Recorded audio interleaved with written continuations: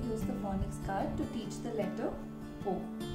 Start by talking about the picture. Ask children what is this? This is a switch. What do we do with a switch? We turn on lights, we turn off lights. Discuss when do we switch on the light, when do we switch off the light.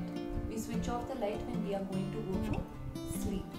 What happens when you switch off the light? It becomes dark. Once you have spoken about the picture, you are ready to sing the song. This is how you sing the song. Now it's dark, the lights go on. Oh, oh, oh, oh, oh. Time for bed, the lights go off. Oh, oh, oh, oh, oh. Repeat this two to three times and get the children to repeat. Once you have sung the song two to three times, ask children what sound they hear in the song. They hear the sound sound O is made by the alphabet O.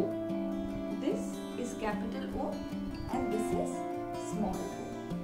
Once you've spoken about the picture, sung the song and help children identify the alphabet, you are ready to teach them some vocabulary words.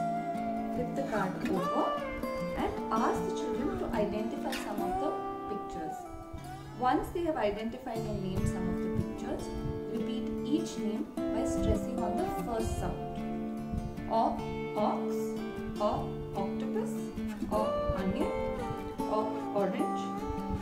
ostrich, or oil. This is how you use the phonics card to teach the letter O.